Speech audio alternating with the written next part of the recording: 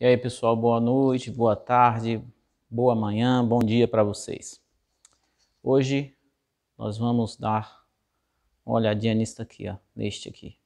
O homem mais rico da Babilônia. Ele é muito bom porque ele é uma história, certo? É muito simples de ler, poucas páginas.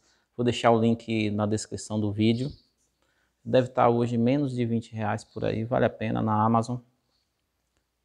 É, tem até um livro que foi feito a partir dele, que fala sobre só sobre os ensinamentos de como você colocar em prática os ensinamentos desse livro. É muito bom. Também tem, se você for ver a história de Salomão também, os conselhos de Salomão lá em Provérbios, você pega muita coisa boa em relação a finanças, né? Finanças pessoais, educação financeira. Por que, Cristóvão, você está falando disto? Porque eu, nos meus 44 anos, se eu tivesse esse conhecimento, você que tem 20 anos, você que tem 15 anos, 25, se eu tivesse conhecimento que eu tenho hoje, se eu tivesse sido passado é, por meus pais, mas não, não, culpo, não os culpo, que eles não tiveram também dos seus pais, né? Esse conhecimento aqui sobre educação financeira, poderia já estar independente financeiramente e fazendo o que quero, né? O, o problema da, da não da dependência financeira é esta. Às vezes você pode estar de saco cheio assim, mas você tem que continuar fazendo aquela coisa. Não é que eu estou dizendo que eu estou com saco cheio, não. Mas é você sendo independente, você está mais livre para fazer o que quer, você tem mais tempo. O pessoal diz que tempo é dinheiro, mas o que você quer ter mais dinheiro para ter mais tempo livre para você aprender a tocar um violão, para aprender inglês, para aprender é, qualquer coisa que você queira, praticar um hobby. Então, tudo isso, o que vai te, te dar isso, essa liberdade, é educação financeira. Esse livro aqui é interessante porque ele, tá, ele conta a história de Bansi, que ele tem dois amigos, um é Kobe, que é um músico, e tem o homem mais rico da Babilônia, que foi amigo dele na infância, quando ele era jovem, né? Então, nesse livro aqui, logo no início da história, vou contar cada dia um pouquinho dessa história. Logo no início da história, é, Bansir conversa com Kobe a respeito do, da, das dificuldades da vida, que ele fica olhando que os nobres lá têm isso, os nobres têm aquilo, que ele tá, trabalha. Ele era o melhor carroceiro da Babilônia, né? Que é uma cidade próspera, cheia de pessoas com muito dinheiro. Ele era o melhor carroceiro da Babilônia. Só que ele nunca sobrava dinheiro para ele. Ele sempre vivia apertado. Vamos ver aqui um diálogo de Kobe e de Bansi.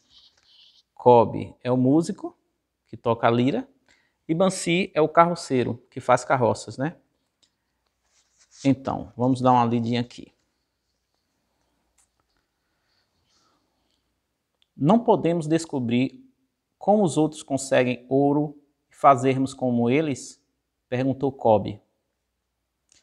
Talvez haja algum segredo que devamos, devamos buscar junto àqueles que o conhecem, replicou Bansir, pensativo.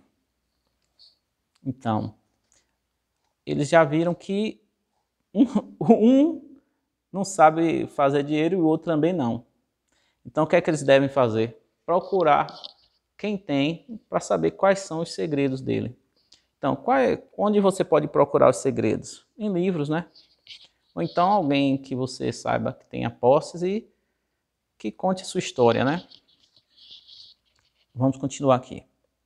Ainda hoje, lembrou Kobe, passei por nosso velho amigo Arcade. Arcade é o homem mais rico da Babilônia, mais rico até que o rei. Passei por nosso velho amigo Arcade, refestelando em sua carruagem dourada. Devo dizer que ele não me olhou com o desprezo que muitos da sua posição teriam achado perfeitamente cabível. É, eles achavam cabível que alguém que tivesse dinheiro não falasse com eles, né? E Arcade, que era amigo deles de infância, tinha dinheiro, mas falava com eles. Ao contrário, Arcade ao contrário, acenando com a mão na frente de todos os que circunstantes, saudou e concedeu seu sorriso de amizade a este Cobe, o músico.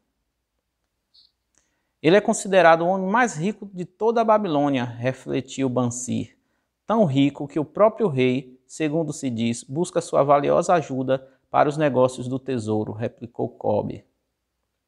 Tão rico, acrescentou Bansir, que se o encontrasse casualmente numa noite escura, seria capaz de enfiar minha mão em sua gorda algibeira, em seu, sua carteira, né, cheia de dinheiro.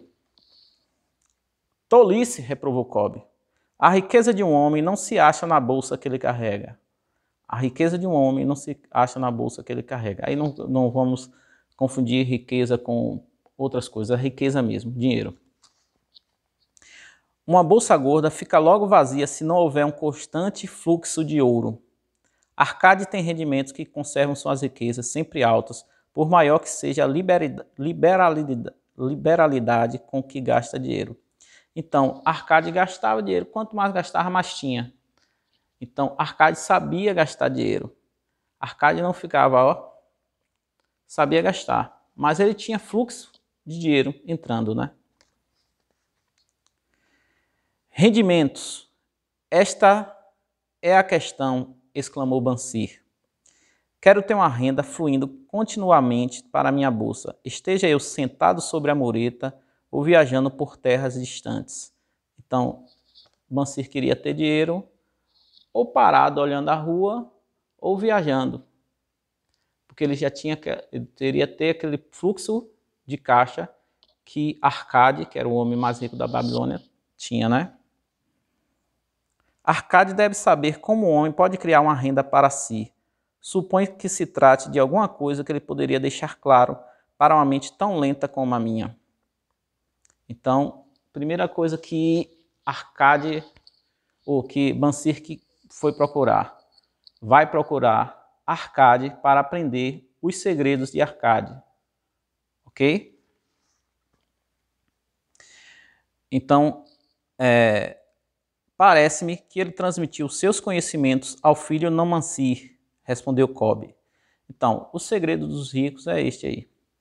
Eles sempre ensinam aos seus filhos como, como conseguir renda, como conseguir dinheiro, né?